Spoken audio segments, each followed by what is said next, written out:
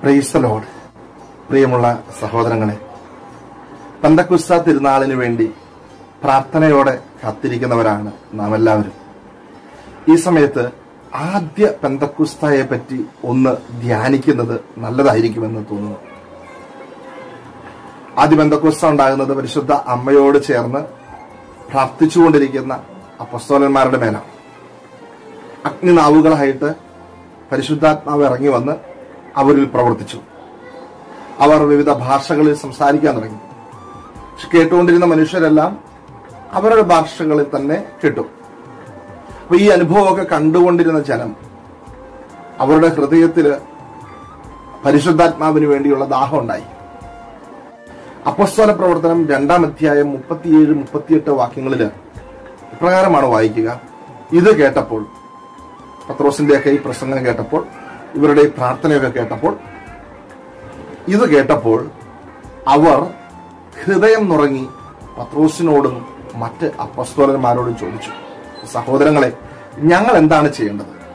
അവരുടെ ചോദ്യം വളരെ സിമ്പിളാണ്. നിങ്ങൾ സ്വീകരിച്ച പരിശുദ്ധാത്മാവിനെ ഞങ്ങൾക്കും ലഭിക്കണം അതിന് ഞങ്ങൾ എന്ത് ചെയ്യണം? അപ്പോൾ പത്രോസ് അവരോട് പറഞ്ഞ മറുപടി ശ്രദ്ധിക്കണേ. പത്രോസ് അവരോട് പറഞ്ഞു നിങ്ങൾ പശ്ചാത്തപിക്കണം. പാപമോചനത്തിനായി എല്ലാവരും യേശുക്രിസ്തുവിന്റെ നാമത്തിൽ സ്നാനം സ്വീകരിക്കണം. അപ്പോൾ പരിശുദ്ധാത്മാവിന്റെ ദാനം നിങ്ങൾക്ക് ലഭിക്കും. പ്രിയമുള്ള സഹോദരങ്ങളെ രണ്ട് കാര്യങ്ങൾ ഒന്ന് അന്ന് പന്തക്കുസ്ത ദിവസം അപ്പസ്തോലന്മാരുടെ മേൽ ഇറങ്ങി വന്ന പരിശുദ്ധാത്മാവ് അപ്പസ്തോലന്മാരുടെ മേൽ മാത്രം നിന്നില്ല. ചുറ്റുമുള്ളവർക്ക് നല്ല പ്രേരണ നൽകിക്കൊണ്ട് അവരിലേക്കെല്ലാം കടന്നു ചെല്ലുന്നു. ആ പ്രേരണയാലാണ് ഈ ജനം അപ്പസ്തോലന്മാരോട് ചോദിക്കുന്നത് ഞങ്ങൾ എന്താണ് ചെയ്യേണ്ടത്? ഈ പരിശുദ്ധാത്മാവിനെ ഞങ്ങൾക്കും സ്വീകരിക്കണം ഞങ്ങൾ എന്താണ് ചെയ്യേണ്ടത്? നല്ല പ്രേരണകളെ കാണുകയും ഹൃദയം ആ പ്രേരണകൾക്ക് തുറന്നു കൊടുക്കുകയും ചെയ്യണം. വിശുദ്ധ ഫൗസ്റ്റീനയുടെ ഡയറിയുടെ മുന്നൂറ്റി അമ്പത്തി ഒൻപതാമത്തെ ഗണ്ണികയിൽ വിശുദ്ധ എഴുതി വെക്കുകയാണ് പരിശുദ്ധാത്മാവിന്റെ പ്രവർത്തനങ്ങൾക്ക് നാം ഒരിക്കൽ തുറവി കൊടുത്താൽ നമ്മിലുള്ള പോരായ്മകളെല്ലാം അവിടുന്ന് തന്നെ നികത്തിക്കൊള്ളും. അപ്പോൾ പരിശുദ്ധാത്മാവിന്റെ പ്രേരണകൾക്ക് നമ്മൾ തുറന്നു കൊടുക്കണം. അങ്ങനെയെങ്കിൽ നമ്മുടെ പോരായ്മകൾ അവിടുന്ന് നികത്തിക്കൊള്ളും. പരിശുദ്ധാത്മാവിന്റെ പ്രേരണകൾ നമുക്ക് പലപ്പോഴും പല ഇടങ്ങളിൽ വെച്ച് ലഭിച്ചിട്ടുണ്ട്. ഒരുപക്ഷെ ഒരു ധ്യാന കേന്ദ്രത്തിലൂടെ ആകാം ഒരുപക്ഷെ ഒരു നല്ല സുഹൃത്തിലൂടെ നല്ല വാക്കുകളിലൂടെ ആകാം. ഒരുപക്ഷെ ഒരു ടി വിയിലോ അല്ലെങ്കിൽ മൊബൈൽ ഫോണിലോ ഒരു നല്ല പ്രസംഗം കേട്ടതിലൂടെ ആകാം അല്ലെങ്കിൽ ഒരു ഗാനം ശ്രവിച്ചതിലൂടെ ആകാം അങ്ങനെ പരിശുദ്ധാത്മാവ് നമ്മിൽ പ്രവർത്തിക്കുന്നുണ്ട്. നമുക്ക് നല്ല പ്രേരണകൾ നൽകുന്നുണ്ട്.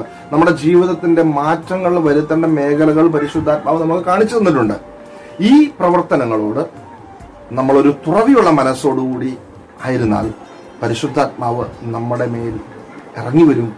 പരിശുദ്ധാത്മാവ് നമ്മുടെ എല്ലാ കുറവുകളും നികത്തിക്കൊള്ളും പത്രോസ് പറയാണ് നിങ്ങൾ പശ്ചാത്തപിക്കണം. പശ്ചാത്തപിച്ചാൽ നുറുങ്ങിയ ഹൃദയത്തോടെ നിങ്ങൾ പശ്ചാത്തപിച്ചാൽ പരിശുദ്ധാത്മാവിന്റെ ദാനം നിങ്ങൾക്ക് ലഭിക്കും. എന്താണ് പരിശുദ്ധാത്മാവിന്റെ ദാനം? നമ്മുടെ കുറവുകൾ നമ്മുടെ പാപകരമായ ജീവിത സാഹചര്യങ്ങൾ ഒക്കെ പരിശുദ്ധാത്മാവ് എടുത്തങ്ങ് മാറ്റും.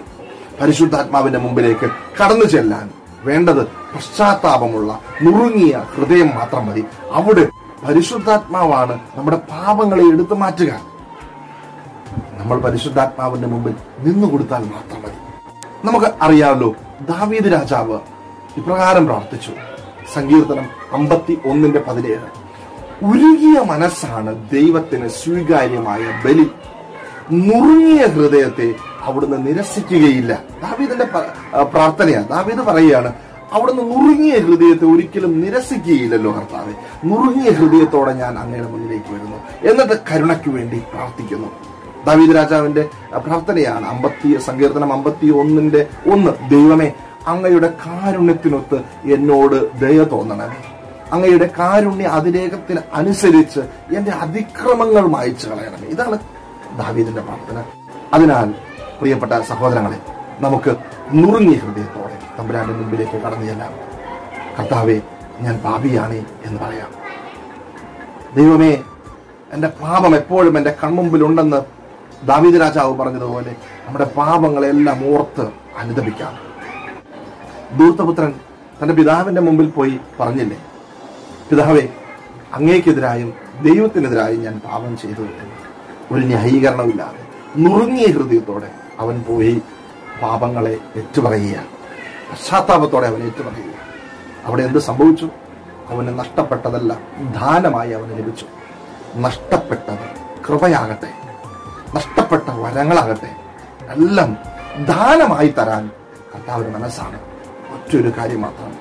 തമ്പുരാന്റെ മുമ്പിൽ നുറുങ്ങിയ ഹൃദയത്തോടെ പശ്ചാത്താപത്തോടെ കരുണയ്ക്ക് വേണ്ടി കർത്താവെ കരുണയായിരിക്കണമേ എന്ന് പ്രാർത്ഥിക്കാനുള്ള ഒരു മനസ്സ് ദൈവ പൈതലെ നിനക്കുണ്ടോ? അപ്പോൾ ദൈവത്തിന്റെ പരിശുദ്ധാത്മാവിന് ചെവി കൊടുക്കുകയും ദൈവത്തിന്റെ പരിശുദ്ധാത്മാവിന്റെ മുമ്പിൽ നുറുങ്ങിയ ഹൃദയത്തോടുകൂടി ദൈവത്തിന്റെ കരുണയ്ക്ക് വേണ്ടി യാചിക്കുകയും ചെയ്യുന്നവന്റെ മേൽ തമ്പുരാന്റെ ദാനങ്ങൾ പരിശുദ്ധാത്മാവിന്റെ ദാനങ്ങൾ ലഭിക്കും. അവൻ അപസ്തോലന്മാരെ പോലെ വലിയ അഭിഷേകത്തോടെ ദൈവത്തിന്റെ കരുണയ്ക്ക് സാക്ഷിയായി ജീവിക്കും.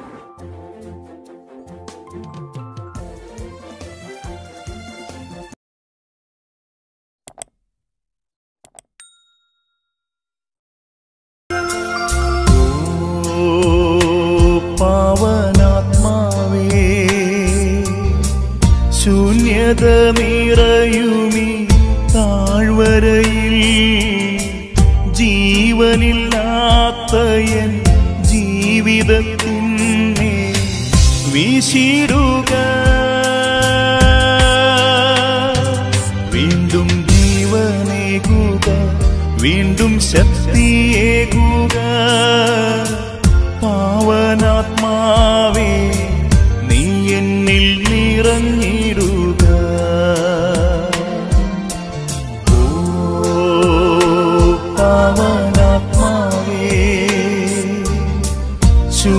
ശൂന്യത നിറയുമി താഴ്വരയിൽ. ജീവനില്ലാത്ത എൻ ജീവിതത്തിനെ വീശിടുക